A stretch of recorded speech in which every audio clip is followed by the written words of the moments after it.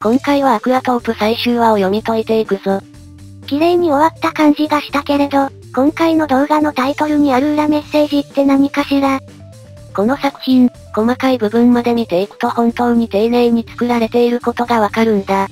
裏メッセージの前に最終話の小ネタを紹介しよう。まず一つ目は、副艦長のククルの呼び方がプランクトンからネクトンになっていた意味だ。確か本編中でもプランクトンに遊泳能力がついたようです。って比嘉くんが言ってたわね。まず、プランクトンとは浮遊生物、つまり遊泳能力を持たず水流の流れのままに生きている生物だ。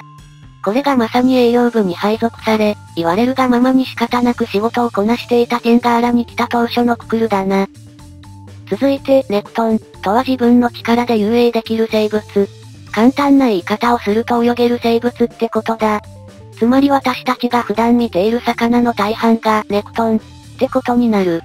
ククルがテンガーラで様々な人々と出会い、たくさんの経験をしたことで最終話ではククル自身で栄養部に残ることを決断した。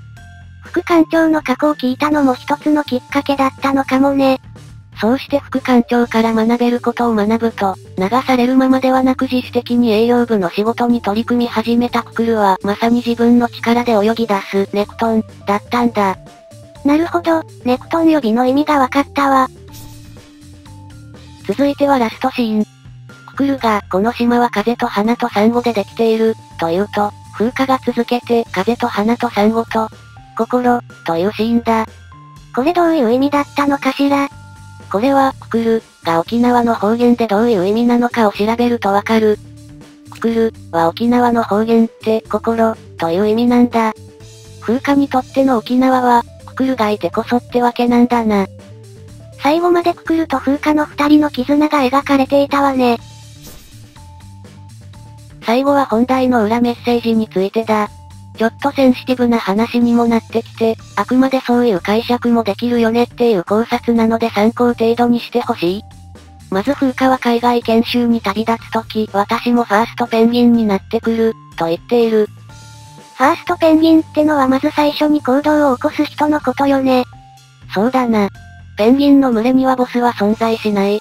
そんな中で天敵がいるかもしれない海へ飛び込む最初の1羽がいるから、それに続いて他のペンギンも海へ飛び込んでいくんだ。このペンギンの行動から、リスクを恐れずに初めてのことに挑戦する人をファーストペンギンって呼ぶ。若いながらにまだ研究もあまり進んでいない環境問題に取り組もうとしている風花はまさにファーストペンギンだな。ここまでの話は分かったけれど、それがどう裏メッセージに繋がるの？ではこのシーンを見てほしい。貝が白玉とチョコのカップル成立に驚いて、ちゆさんがペンギンの生態について解説しているところね。同性カップル、年の差婚、三角関係、彼らは自由恋愛のスペシャリストだからね、とちゆさんが解説する。これを解説するのがちゆさんってのがいい。ちゆさんも高校卒業後若くして結婚しているからな。その後色々あっての苦労からククルたちと仲良くなるまでの話はこの作品で一番好きなエピソードだ。あの回は感動したわ。そしてこのペンギンについての解説を最終話に持ってきた意味があると私は思っている。確かに。まず三角関係ってワードは貝の今後を表しているのではないか。え、ちょっと待って、貝がククルのことを好きというのはわかるんだけど、三角関係の後一人って、風化かもな。ここでさっきのシーンを思い出してほしい。ペンギンは自由恋愛のスペシャリスト、という解説。私ファーストペンギンになる、という風化の発言。風化とククルの関係性について、そういうメッセージ性があるのかもしれないということだ。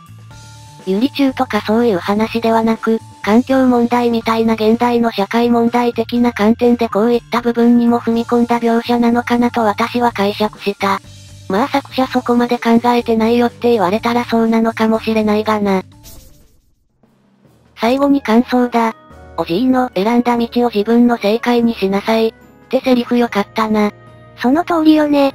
白い砂のアクアトープはよく見るとまだまだ新しい発見がある作品だと思う。そして、ククルたちの仲間や生き物に対する姿勢を描いてくれた素晴らしい作品だったと思う。欲を言えば、副艦長とかまだまだキャラの深掘りをして欲しかったな。ということで今回の動画はここまでだ。コメントで皆さんの感想や解釈もお待ちしてます。このチャンネルではアニメがされに楽しめるような動画を投稿しているので、よかったらチャンネル登録お願いします。ご視聴ありがとうございました。